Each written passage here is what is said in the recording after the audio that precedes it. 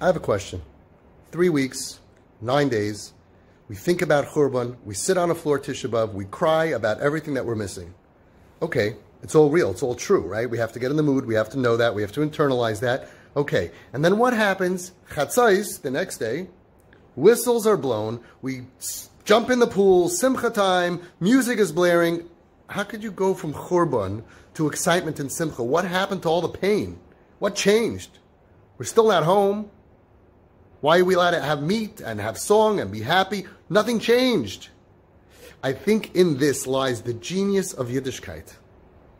Of course, every single day should be Tisha B'Av. Every single minute of every single hour of every single day of our year should be crying, take us home to Yerushalayim. We should never eat meat. We should never have a smile on our face. We should sit on the floor. We should cry and be misabel in Yerushalayim until Hashem takes us home. Of course.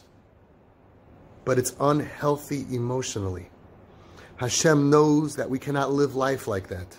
And therefore, ace, livkois, the ace, lirkoid. There is a time for everything. There's a time to sit and cry over our problems. There's a time to get up and dance. A person very dear to you dies, there's a shiva, but then there's a shloshim. And, and the difference is, yeah, you start showering and you start getting up there, and then there's a, a shloshim is over, it's over. You go to the, to the, to the year. It's different. There has to be a difference because we have to live life. Ivdu es Hashem besimcha, even in the worst situations. So sometimes we have to sit on the floor and cry but you can't remain there. Many of us have a lot of problems. Many of us have a lot of pain. Give yourself a time of the week that you can cry for your pain. But when that time is up, you get up and you dance and enjoy your life.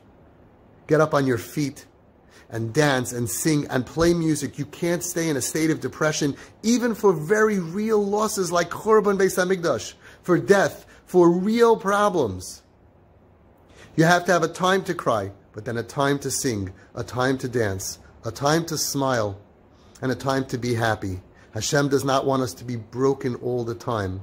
Hashem wants us to do what we need to do, when we need to do it, have our moments, but then to get up and to praise Him from a place of joy and happiness.